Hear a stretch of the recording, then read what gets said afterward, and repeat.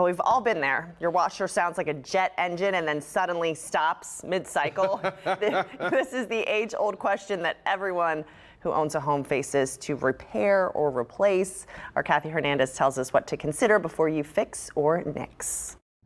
The 14-year-old washer in this family's home was on the fritz. Uh, I was afraid that if I spent the money to repair it, it would just go out again soon. And frankly, I'm surprised it lasted this long. Instead of rolling up the sleeves to repair, the family headed to a home improvement store to replace and buy new.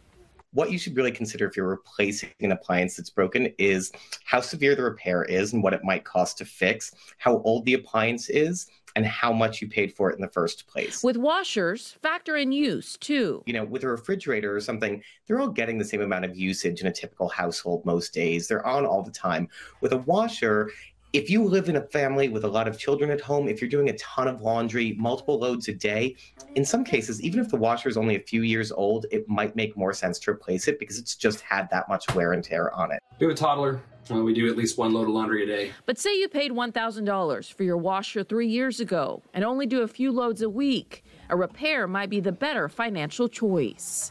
Before you go calling a service person for your washing machine, it makes sense to look at what's actually going wrong. Start with a simple online search, look to see if there are any recalls on the washer or if there are any simple fixes like a clogged filter or a kinked outlet hose. Lastly, you want to check the intricacies of your warranty to see if it's something that might have extended coverage that you can get repaired for free before you place a call to a service person. Hopefully, we won't need a repair anytime soon. If you decide to ditch your old washer, consider the environmental impact. If you're having it hauled away by the retailer that sold you a new one, ask if the old machine will be recycled or see if your nearby recycling center will take it. Kathy Hernandez, KPRC 2 News.